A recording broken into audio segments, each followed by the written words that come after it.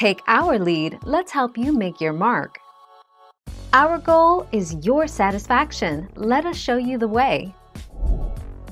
Adopted pets are just as loving, intelligent, and loyal as purchased pets. Adopting a pet from an animal shelter is much less expensive than buying a pet at a pet store or through other sources. Buying a pet can easily cost $500 to $1,000 or more. Adoption costs range from $50 to $200.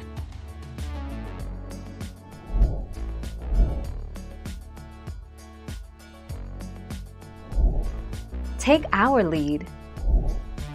Because you'll save a life. The number of euthanized animals could be reduced dramatically if more people adopted pets instead of buying them.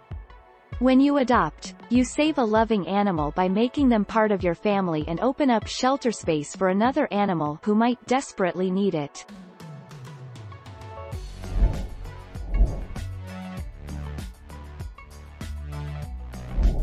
Make your mark, take our lead. Some of the illnesses common to pet store puppies include zoonotic diseases which can be spread to other pets and humans.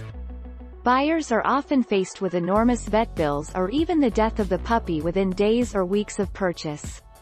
These health problems are often the result of poor breeding at puppy mills.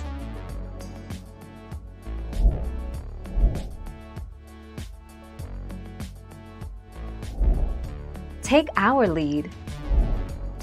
You usually pay a contribution fee towards a rescue dog, which helps go towards the costs of the rescue center.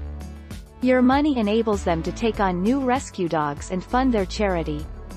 You learn a lot from getting a rescue dog. Thank you for watching. Please subscribe and hit the bell notification.